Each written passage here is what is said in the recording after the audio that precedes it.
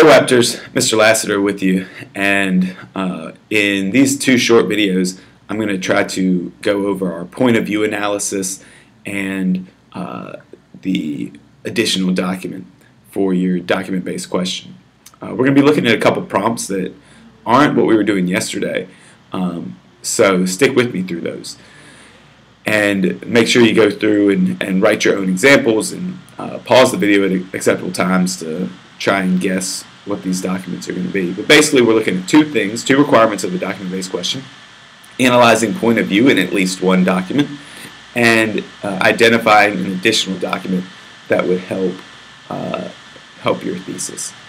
Um, so let's go ahead and, and get looking at this. Uh, a quick reminder, analysis of point of view uh, is not just where the writer is coming from. So not just whether they were uh, a king or a peasant or a general excuse me, and not whether or not uh, whether they were from Spain or not.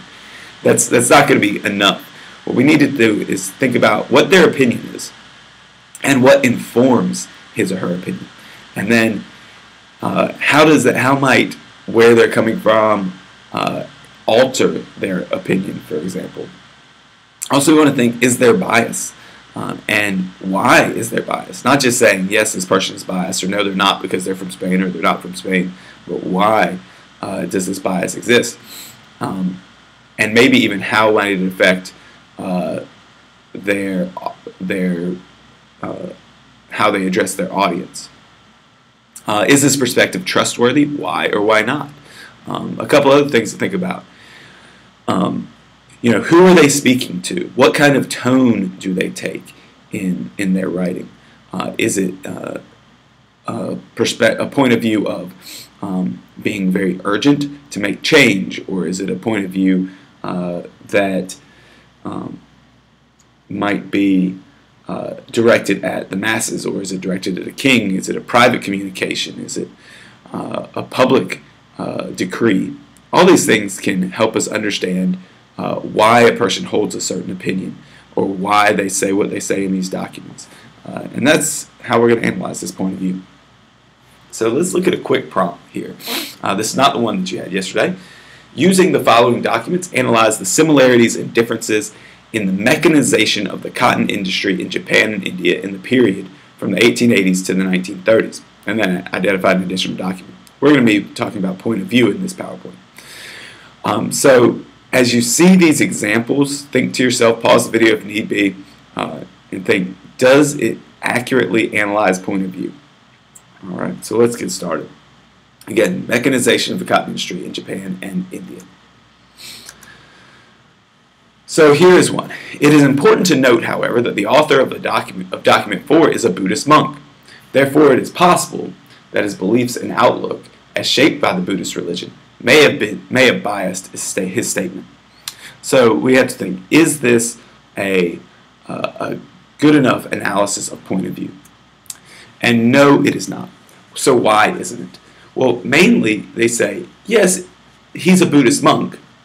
He might be biased. Uh, his Buddhist religion may have shaped that bias, but there's no explanation of how this might be or how his opinion uh, or point of view came to take shape by this Buddhist religion. So it really kind of stops short of full analysis. Let's look at another. The source, document 3, can be exaggerated. However, due to a bias, uh, due to bias considering that the source came from two women who used to work in the factories and were trying to put pity on themselves. Now, the fact that this sentence can be cleaned up, notwithstanding, uh, this is an acceptable point of view because it talks about the bias uh, and what created that bias. The idea that these two women used to work in factories and uh, they may have been, their point of view might have been, oh, woe is me, this, how, you know, pitiful I am having to work in these horrible conditions. Uh, and so therefore they might exaggerate those conditions to make their point heard. Let's look at another. However, this document, document 3, may not be accurate because it is Two working class women recalling events from years ago and may have forgotten or embellished some facts to inspire sympathy. So think to yourself, is this adequate or inadequate? And the answer is yes. It's very similar to the last statement in that it uh, provides an analysis of their point of view. They're recalling events from the uh, factory. Of course, it was years ago, so whenever you do something much later, it can uh, damage the accuracy of the report. And uh, it also kind of brings in this idea of embellishing some facts, or as we said in the previous one, um, exaggerating to inspire sympathy or pity on them. Let's look at another. Even though India is working to produce more cotton for England, this report, document 9, shows little or no interest in caring, although it talks about the low wages of workers. This is not going to be uh, acceptable.